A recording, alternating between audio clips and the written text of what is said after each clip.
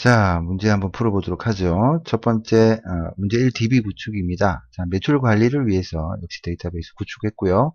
테이블 완성하는 문제네요. 매출 테이블을 디자인 보기로 열어서 작업을 하도록 하죠.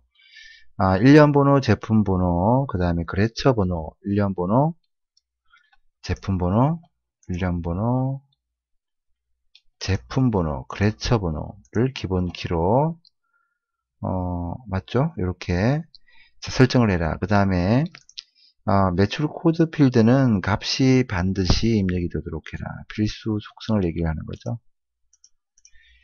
그 다음에 어, 매출 코드 필드는 네 글자만 입력이 되도록 값을 제한해라. 값을 제한해 주면 되겠습니다. 자, 길이를 우리가 어, 제한을 해주면 되겠죠. 매출 코드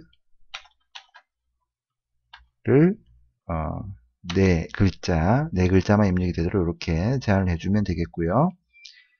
그 다음에 이제 제품 번호, 거래처 번호 필드에는 새로운 레코드를 만들 때 자동으로 0이 입력이 되도록. 자, 우선 제품 번호. 어, 이건 이제 그 기본 값 속성을 얘기를 하는 거죠. 제품 번호와 그 다음에 거래처 번호.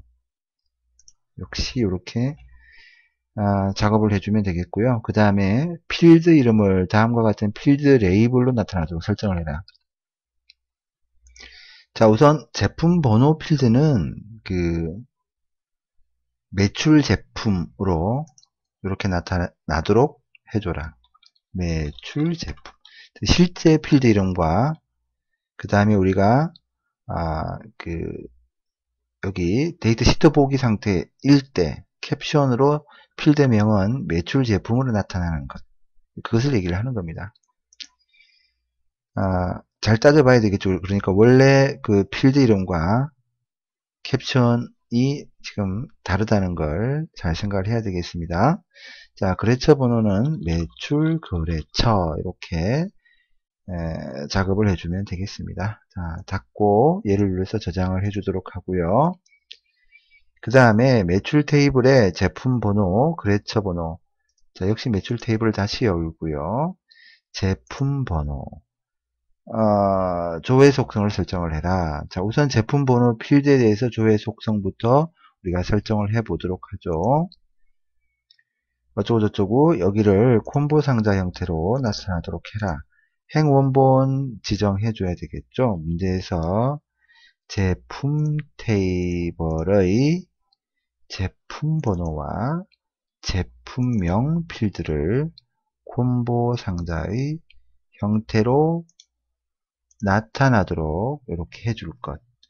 단 조건이 있어요. 제품 번호는 표시가 되지 않도록 설정을 해라.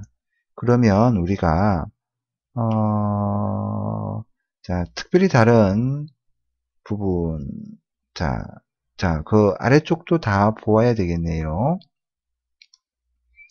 자, 세 번째 지시사항입니다. 제품 번호 필드에는 제품 번호, 그 다음에 거래처 번호 필드에는 이건 나중에 보고요.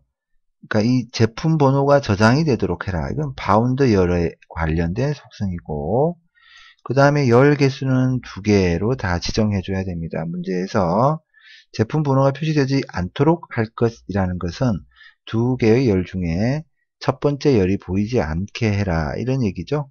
어, 그래서 바로 이 열 너비 속성에서 이렇게 지정해 주면 되겠습니다. 아, 그 다음에 이 그 미리 보기를 보니까 나타나는 행수 부분도 지정을 해줘야 되겠네요. 그 다음에 목록 이외의 값은 입력할 수 없도록 목록, 목록 값만 예, 이렇게 지정해 줘야 되겠습니다. 됐습니다. 아, 그 다음에 이제 그레처 번호 필드에 대해서도 작업을 해 줘야 되겠죠. 얘도 아, 콤보 상자 형태로 하라라고 했고요.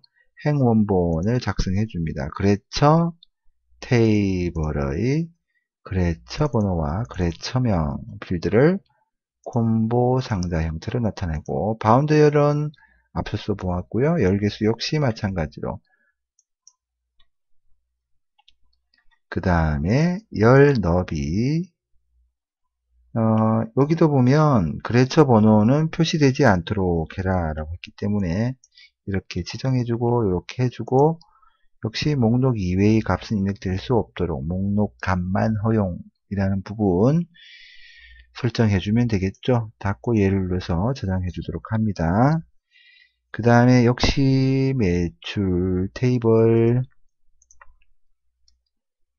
자 매출 테이블의 제품 번호 이 필드는 에, 이건 관계네요. 관계 작업 자 데이터베이스 도구의 관계 아, 테이블 표시 매출 테이블이 필요하고요. 제품 테이블이 필요하고요.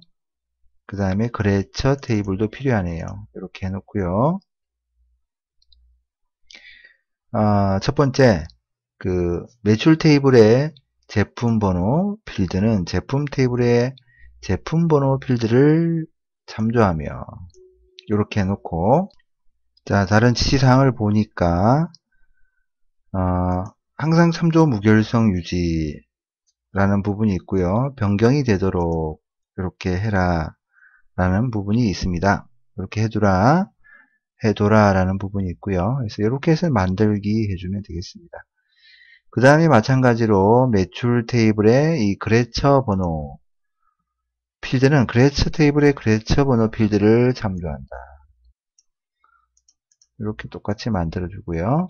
이런 경우에는 이제 보기 편하게 이렇게 배치를 해주면 괜찮겠네요. 닫고 예를 눌러서 저장해주면 되겠습니다. 그 다음에 문제 2번 입력 및 수정 기능 구현 자 매출 폼을 어, 다음 지시사항에 따라서 완성해라. 화면과 같은 형태 교재에 있는 그림과 같은 형태를 어, 얘기를 하는 겁니다. 자 얘를 이렇게 설정하라는 얘기고요. 그 다음에 어, 두 번째는 스크롤 막대가 어, 세로만 표시가 되도록. 그 다음에 폼 바닥글 구역에 txt underbar 판매 금액 컨트롤에 어, 판매 단가의 합계가 표시가 되도록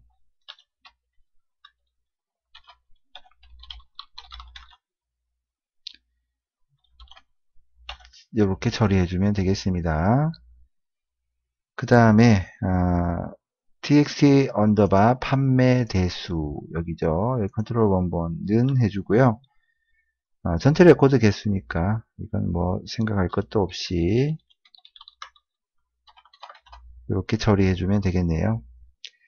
그 다음에 폼 머리글 구역 아, 자, 탭 순서 들어가서 폼 머리글 구역의 그 컨트롤에 대해서 다음과 같이 탭 순서 설정해라. 어, 그 다음에 이렇게 해주고요. 그 다음에 수정, 그 다음에 닫기 얘가 이렇게 해서 확인 눌러주면 되겠습니다. 그 다음 문제 자 역시 매출 폼에서 작업을 할 것이니까 열어두고 작업을 하도록 하죠. 어, 매출 폼의 수정 CMD 자, 이 수정. 자, 이 버튼 클릭하면 다음과 같은 기능을 수행하도록 이벤트 프로시저를 에, 구현해라 라고 했습니다. 클릭하면 일어나는 일이기 때문에 여기 작업을 해주면 되겠습니다.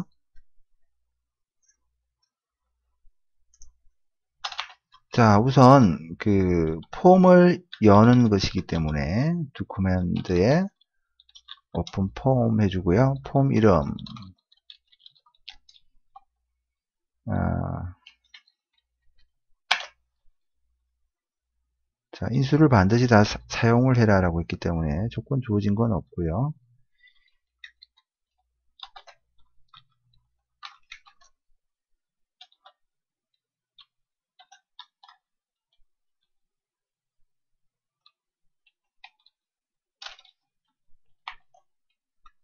자, 이렇게 어, 인수를 지정해 주면 되겠습니다. 그 각 인수에 대한 내용은 교재에 있으니까 그것을 참고하면 되겠고요.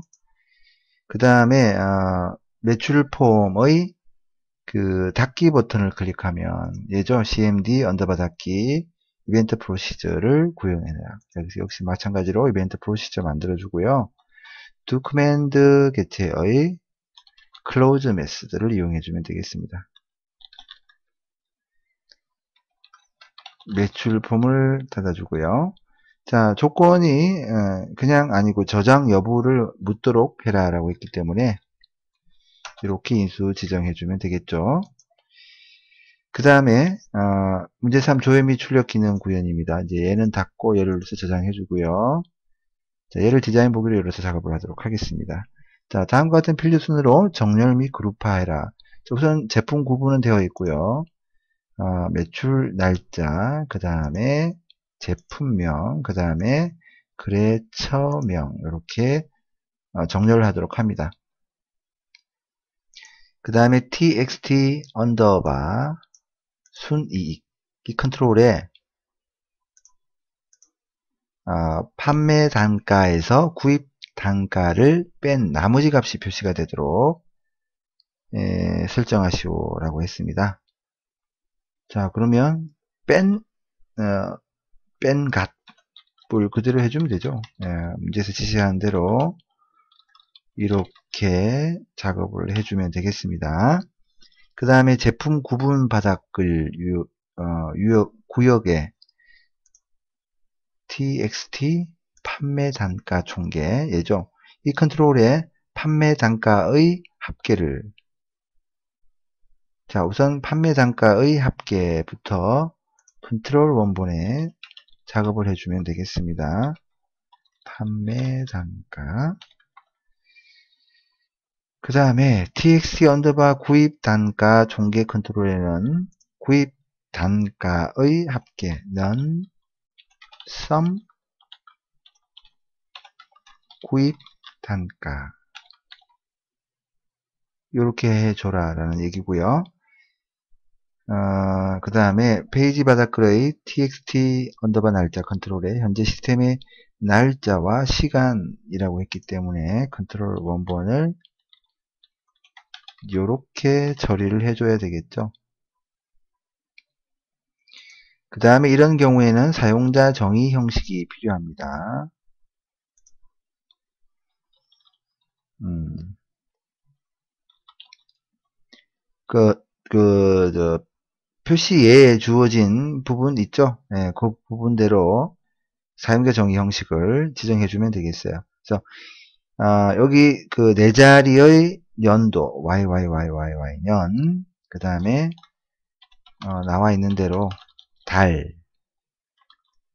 일, 그 다음에 요일, 그 다음에 어, 오전 오후 여부도 표시를 어, 지금 보면 되어 있죠. AM, PM 여부도 그 다음에 어, 시간, 분, 그 다음에 초까지 표시가 되어 있습니다. 이렇게 해서 지정을 형식을 지정을 해줘야 돼요. 이런 경우에는 어, 주어진 형식이 없기 때문에 사용자가 정의하는 형식으로 이렇게 사용자 정의 서식을 이용해서 작업을 해줘야 되겠습니다. 그 다음에 txt underbar 페이지에 역시 컨트롤 원본 지정을 해주면 되겠습니다. 아, 표시에는 이와 같은 형태로 표시를 해주면 되겠습니다. 자, 뭐 별거 없습니다. 그대로 나타나도록 지정을 해주고요. 어, 띄어쓰기는 역시 그 미리 보기에 있는 대로 여러분들이 확인을 해서 띄워쓰기 해주면 되고요. 근데 핵심은 페이지는 현재 페이지를 얘기를 하는 것이고 그 다음에 페이지즈는 뭡니까? 바로 전체 페이지를 얘기를 하는 거죠. 이런 형태로 작업을 해주면 되겠습니다. 이렇게 해서 확인 닫고 얘를 눌러서 저장해 주고요. 어, 그 다음에 자 역시 매출 폼에서 작업을 합니다. 매출 폼을 디자인 보기로 열고요. 어, 조회 버튼을 클릭하면 얘를 CMD underbar 조회죠. 얘를 클릭하면 이벤트 프로시저 구현해라 라고 했습니다. 자, cmd underbar 제품명 컨트롤에서 선택한 값으로 조회를 해라 라고 했습니다. 이것이 바로 apply filter 필터링 해주는 거죠. 필요하다. do command 개체 apply filter method 자, filter name 필요 없고요. 어, 컨디션이 필요하죠. 조건이 필요합니다. 여기서 제품명과 문제에서 주어진 것 CMD underbar 제품명 컨트롤에서 선택한 것. 그 얘기는 제품명 필드와 CMD underbar 제품명 컨트롤이 같은지. 자, 이 필드가 왜 사용되는지는 CMD underbar 제품명에서 살펴보아야 되겠고요. 그 다음에 식을 작성하는 요령은 데이터 형식이 무엇인지를 따져보아야 되겠죠. 자, 뭐 이건 이제 다 아는 음, 내용들이니까 저렇게 해서 cmd underbar 제품명의 값과 같은지 비교를 해주도록 합니다. 아, 뭐가 잘못됐죠?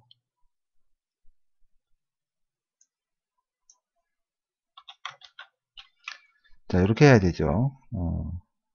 그 다음에 세 번째, 매출 폼의 인쇄 버튼을 클릭하면 자, 얘를 클릭하면 아, 이건 인쇄 매크로를 구현하시오 라고 했네요. 어, 인쇄라는 매크로, 매크로를 만들어라 이런 얘기입니다. 그래서 새로 만들기, 자, 매크로를 만들어 줍니다. 어, 보고서를 인쇄 미리 보기로 여는 것이기 때문에 우리가 오픈 레포트다라는 것을 알 수가 있고요. 제품별 어, 매출 현황 보고서를 여는 것이고요. 그 다음에 인쇄 미리 보기로 여는 것이고요. CMD underbar 제품명 컨트롤에서 선택한 값에 해당하는 제품명 내용, 내용만 입력해라 라고 했기 때문에 우리가 여기에서 이 제품명이라는 것이 같은지 비교를 해주면 되겠습니다. 어떻게 해요? 자, 여기 폼들 중에서 어, 문제에서 확인한 것이 매출 폼이죠. 매출 폼의 CMD underbar 제품명 이렇게 되도록 이 느낌표는 일종의 경로다 이렇게 알고 있으면 되겠습니다. 되었죠? 이렇게 아, 작업을 해주면 되겠고요. 그럼 얘는 닫고요. 저장을 합니다. 이 매크로 이름은 인쇄라는 매크로를 저장해 주고요. 그럼 여기 온 클릭에 만들어진 것을 이렇게 지정해 주면 되겠습니다. 닫고 예를 들어서 저장해 주고요. 그 다음에 문제 4번이죠. 처리 기능 구현이라는 부분. 자, 첫 번째는요.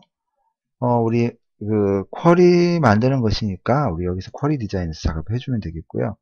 매출과 제품 테이블을 이용해서 작업을 해 주도록 합니다.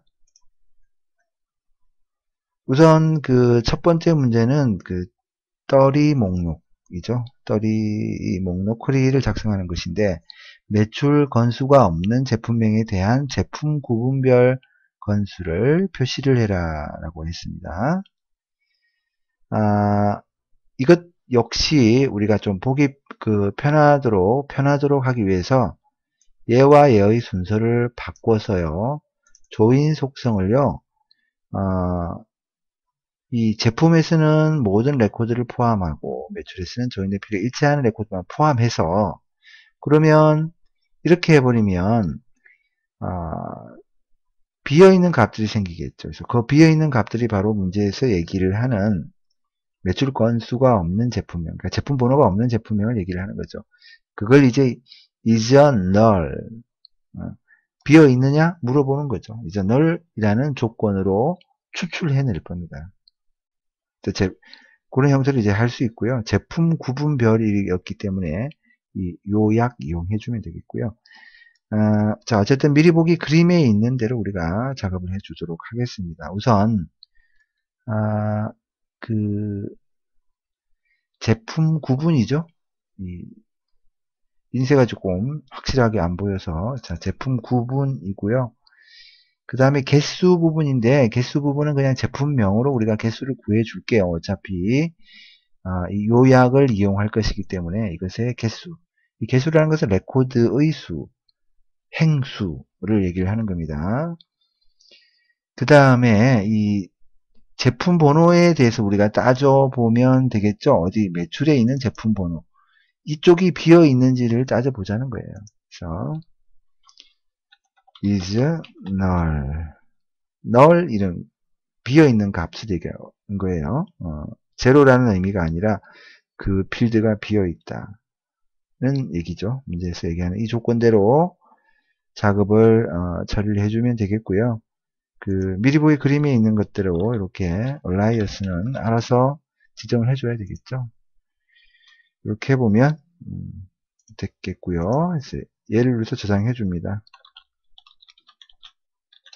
자 이렇게 저장해 주고 그 다음에 두 번째 매출 폼을 역시 디자인 보기를 열어서 어, 제품명 컨트롤 제품명은 txt underbar 제품명이고요. 얘죠. 이것을 클릭하면 어, 다음과 같은 기능을 수행하도록 이벤트 프로시저 작성해 주면 되겠습니다.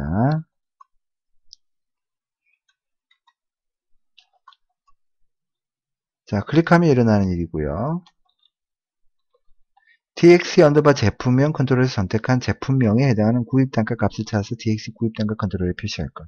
자, 말만 길었지 그냥 구입 단가가 예, txt underbar 구입 단가에 예,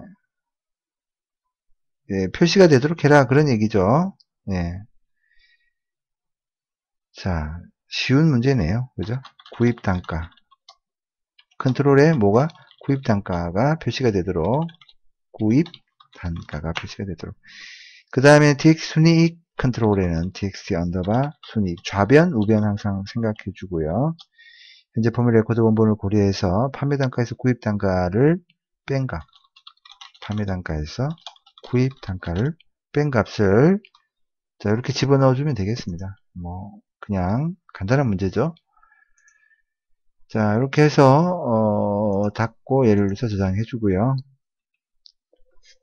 그 다음에 문제는 아, 제품 구매 기준 그 다음에 하반기 실적 6월 30일 포함 쿼리를 미리 보기 그림처럼 표시하도록 작성을 해라 라고 했습니다 우선 첫 번째는 제품 구매 기준 쿼리죠. 이거부터 만들어 보도록 하죠. 자, 만들기 위해서 쿼리 디자인 열고요. 제품 테이블을 이용해서 작성을 하고 어, 제품명의 일부를 매개 변수, 매개 변수 조건에 대괄호로 묶어주면 되겠습니다. 필요한 값들을 어, 필드를 추가를 해주도록 하겠습니다. 어, 역시 이제 그 미리 보기 결과 그림을 보고 하는 것이고요. 제품 번호가 필요하고요. 제품명도 필요하네요. 그 다음에 구입 단가도 필요하죠. 어, 그 다음에 이제 기준 단가라는 것은 없는데 이것은 지시사항이 있네요. 아, 자, 어떻게 하, 하, 느냐 자, 구입 단가가 65만원 이상이면 어, 보류를 나머지 경우에 대해서는 구매로 이렇게 표시하는 그 부분이네요. 자, 여기에 이제 작업을 해주면 되겠습니다. 그래서 이 부분이 이제 그 실제로 나타나는 부분은 기준 단가라는 부분으로 나타나는 거죠. 여기에 이렇게 식을 작성을 해주면 되겠습니다. 우리 익숙한 if 부분을 이용해서 자 조건에 있는 대로 작업을 해주고요. 자 이상이면 이라고 했기 때문에 이렇게 처리를 해주고요. 65만원 이상 그렇죠? 이렇게 하고 조건에 만족할 때 그렇지 않을 때 이렇게 해주도록 하고요. 그 다음에 어, 제품명에 대해서 여기 제품명에 대해서 조건을 작성해 주면 되죠. 자, 조건 작성할 때, 아, 그, 대괄호 속에다 집어넣어 주면 매개 변수 매개 변수의 형식, 매개 변수 값을 입력하는 창이 뜨는 형식으로 어, 나타나게 되죠. 그리고 그 대괄호 속에 들어간 내용이 그 창의 캡션으로 나타나게 됩니다. 어, 근데 이제 여기에서는 그 제품명의 일부를 매개 변수로 입력받아도 그렇게 작동하도록 해라 라고 했을 때는 우리 like라는 연산자를 사용해 주도록 합니다. 자, 조건에 작업을 해주면 되겠어요. 조건 절에다가, 조건 라인에다가 작업을 해주도록 하고요. 문자에 해당하는 부분을 이렇게 처리를 해주도록 하겠습니다. 캡션 부분을 입력을 하도록 하죠.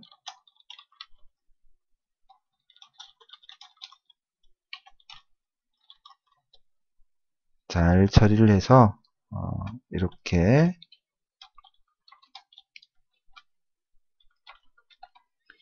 이렇게 해주면 되겠죠. 자, 그러니까 이제 대괄호를 기준으로 해서 어, 앞뒤로 앞뒤로 그 별 표시가 붙어 있는 거잖아요. 그러면 어, 앞에 뭐가 오든 뒤가 뭐, 뭐가 오든 어, 포함해서 그 글자가 들어가면 포함시켜서 검색하겠다라는 의미가 되는 거죠. 어, 앞에 그런 개념들이 많이 나오니까요. 아, 그래서 실제로 우리가 얘를 실행시켜 보면요. 이렇게 해서 미리 보기에 있는 것대로 이렇게 해서 실행시켜 보면 이와 같은 형태로 실행되는 것을 알 수가 있습니다. 아, 이건 자 이렇게 저장을 해주도록 하고요. 그 다음에 하반기 실적 어, 6월 30일 포함이라는 이 쿼리 역시 만들기 위해서 우리 쿼리 디자인에서 작업을 해주도록 하죠. 매출 테이블을 이용해서 작업을 해라 라고 했고요. 아, 자 미리 보기 어, 우리 그림에 있는 것처럼 제품 번호가 들어가 있고 어, 그 다음에 어, 매출 코드죠 그 다음에 매출 날짜. 자, 여기 실제로 이제 무슨 얘기냐면, 이렇게 해서, 자, 실행을 시켜보면, 이렇게 나오죠. 이렇게 나온 이유는 우리가 문제 1번에서 작업을 했기 때문에 그런 거죠. 그래서 헷갈리면 안 된다는 거죠. 이렇게 작업을 해두도록 하고요. 이제 나타낼, 나타낼 필드는 다 나타내었고요. 아, 그 다음에 조건이 있죠. 그냥 또 쉽게 넘어가지 않습니다. 자, 2002년 하반기, 단 2002년 6월 30일을 포함해서요.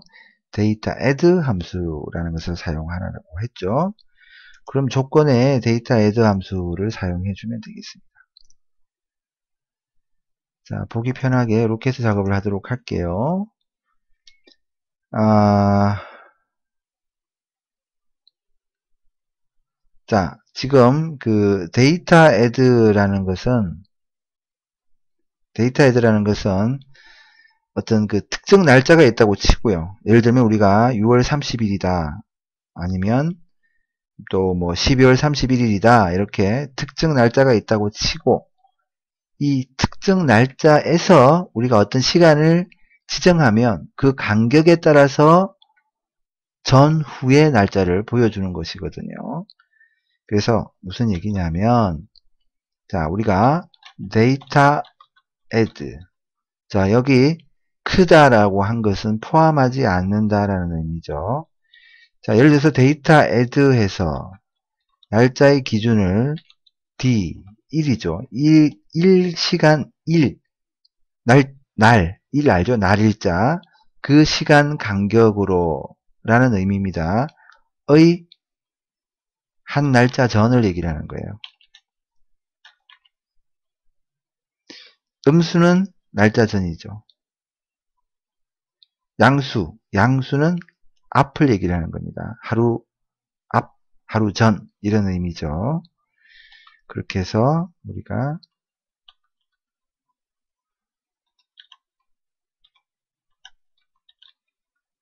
이렇게 처리를 해주고요. 그러니까 이것보다는 크고 그리고 작다 역시 포함하지 않았습니다. 날짜를 이것도 좀 유심히 보아야 돼요. 마찬가지로 어, 1, 1 간격으로 자 하루 앞날 얘기를 하는 거죠.